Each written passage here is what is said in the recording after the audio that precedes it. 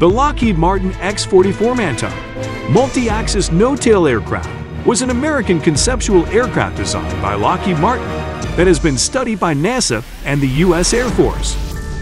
It was intended to test the feasibility of full yaw, pitch and roll authority without tailplanes horizontal or vertical. Attitude control relies purely on 3D thrust vectoring. The aircraft design was derived from the F-22 Raptor and featured a stretch delta wing without tail surfaces. The X-44 was designed by Lockheed Martin to demonstrate the feasibility of an aircraft controlled by vector thrust alone. The X-44 design had a reduced radar signature due to lack of tail and vertical stabilizers, and was made more efficient by eliminating the tail and rudder surfaces, and instead using thrust vectors to provide yaw, pitch, and roll control. The X-44 Manta design was based on the F-22, except without a tail, and incorporating a full delta wing the X-44 Manta would have a greater fuel capacity than the F-22 due to its larger delta wing design. The Manta was designed to have reduced mechanical complexity, increased fuel efficiency, and greater agility. The X-44's aircraft design was derived from the F-22 Raptor and featured a stretched delta wing without tail surfaces.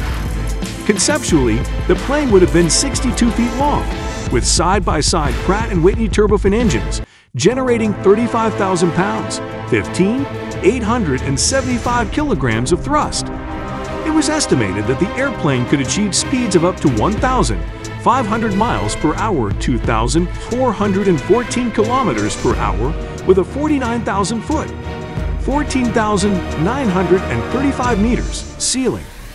The design would have conferred the advantages of lower drag and more efficiency with better stealth capabilities including internal weapons bays with potential for a full payload of Sidewinders, AMRAAMs, smart bombs, and a 20mm internal cannon last, but not least, the overall configuration would have enabled the Manta to have greater fuel capacity to extend range. While the tailless wedge shape of the X-44 Manta would benefit its stealth profile, it also came with some other significant advantages over America's existing stealth fighters, like payload capacity and range.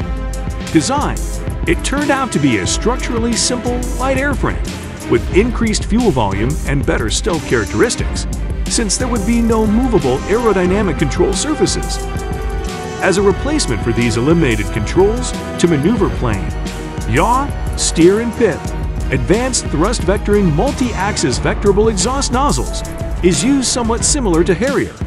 So considering its design, its purpose was to be the best stealth aircraft till the date. In layman's terms, thrust vectoring would grant the kind of maneuverability that would overwhelm enemy fighter planes, meaning the pilot could change the angle of thrust to control altitude advantageously, thus allowing the airplane to change directions in a more aggressive manner the X-44 will be far more than just a more advanced fighter, and instead will be a family of systems that would include autonomous capabilities, stealth, a new spectrum of weapons, thermal management of the aircraft signature, and improved propulsion with supercruise ability. Engine Williams International F112 turbofan of 732 ohms. Thrust Maximum speed 176 miles per hour. Endurance 1.5 hours. Range 230 miles. Each of the programs is being developed with maximum connectivity, advanced sensors, and open architecture, while taking advantage of computer-aided design. In addition, the Air Force has been more focused on adaptive cycle jet engine technology. Built by the famed Skunk Works, the X-44 successfully tested multiple technologies, its composite structure airframe was quickly built using advanced manufacturing techniques. The X-44 design refined tailless aircraft aerodynamics and flight controls.